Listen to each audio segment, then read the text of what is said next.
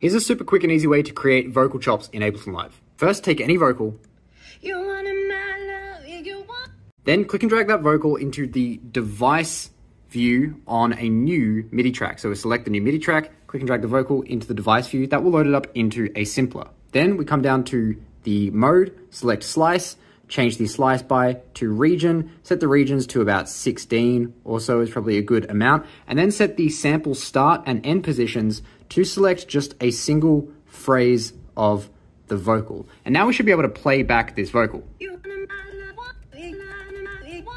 Once you've found some regions that you'd like, right click on the sample and select slice to drum rack. Then that's going to take each of those individual slices and put them into a pad on a drum rack.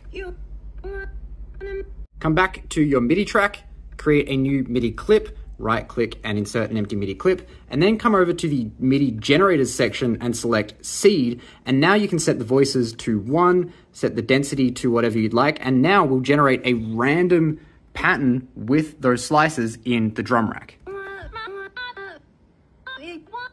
If you adjust the duration and the velocity and then also the grid size setting here from something like 1 16th to maybe 1 8th note, and then just click generate a few times, you can get some really cool and interesting results. Or if you only want to generate for say the first bar, you can just select the first bar and then click generate and that'll generate just for the first bar, which you can then duplicate across the entirety of the clip.